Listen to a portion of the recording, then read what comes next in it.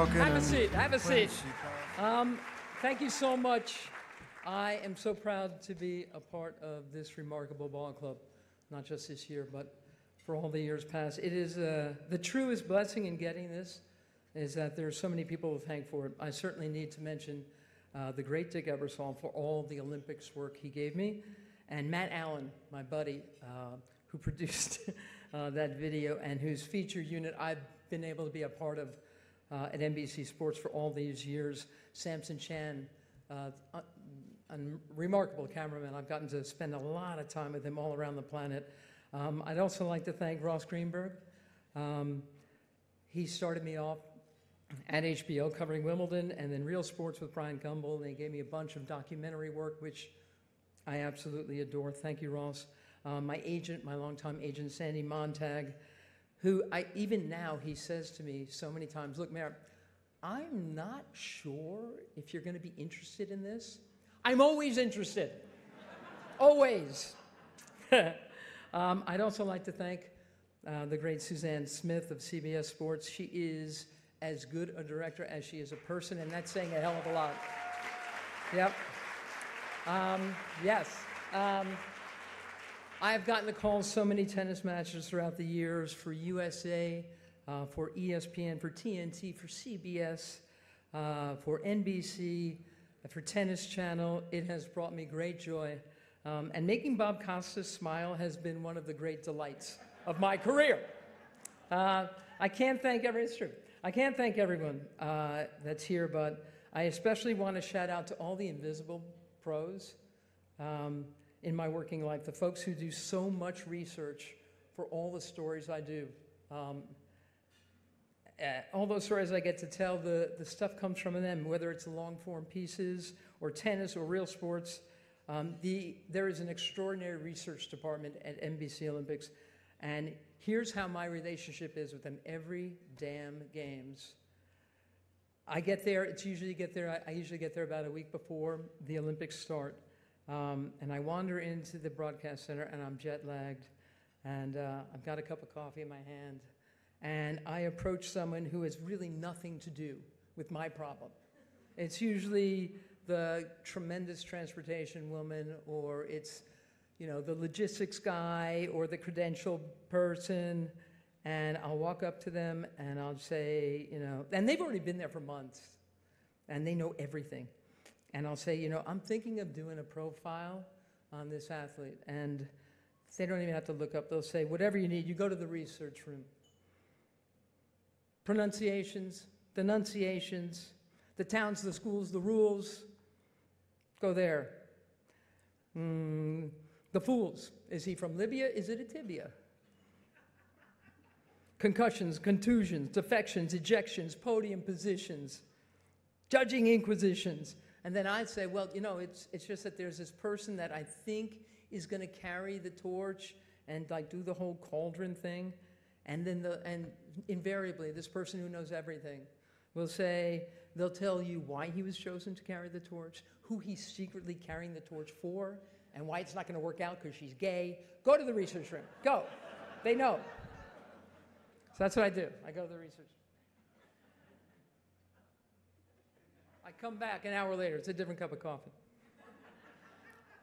And I'll go to the, the same stooge, this poor mook that I was bothering before, and I'll say, Where exactly is the research room? I wish this wasn't true. Um, uh, more thanks, uh, who everybody, and I've worked with so many of you magnificent people. I want to thank everyone in this room who ever told me, set the scene, keep it lean, lay it up, just lay out. Do not whisper, do not shout. I'd like to thank all the animals I've gotten to work with, and there are many.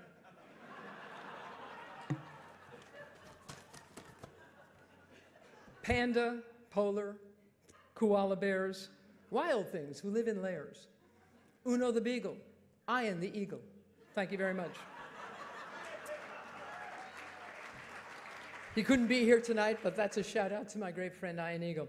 To Triple Flips, light and airy, Starbucks at the commissary. Starting lines, party lines, losers, winners, boxed up dinners. Facts check, mic check. Gordon and Bruce Beck. Molly Solomon, Ken too. Where the hell's the nearest loo? Such big egos, not Tirico's. Surely we denounce that. How do you pronounce that? That's Billie Jean King laughing. GoPros, slow mos, no snow. Does that mean we're free to go? No. This fifth set is too damn long. That lost boy is named Lamong. Suchi, Sochi, PEDs. Have a look at Lindsey's knees. She still skis? Gymnasts tumbling. NASCAR's rumbling. Brian gumbling. Tara, yeah, there's more. I get just a little more. Tara and Johnny, great attitude, but if you're behind them in makeup, you are so screwed.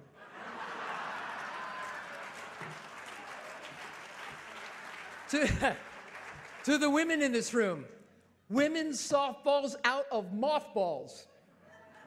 Very happy about that. Yeah. Back in the Olympics.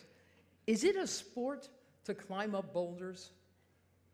I want Missy Franklin shoulders. Ryan Lochte is quite the drinker. Bob's pink eye is getting pinker.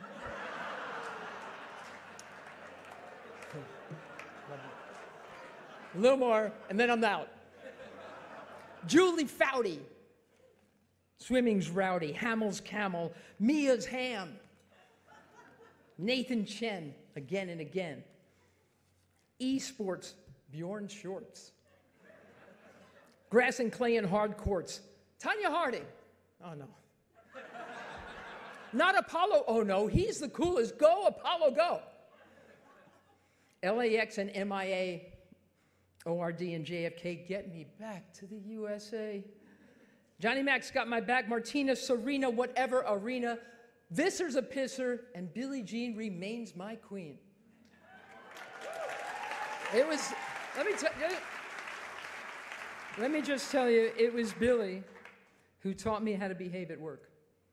It was the first time I ever got to work with her was at HBO for Wimbledon 1996.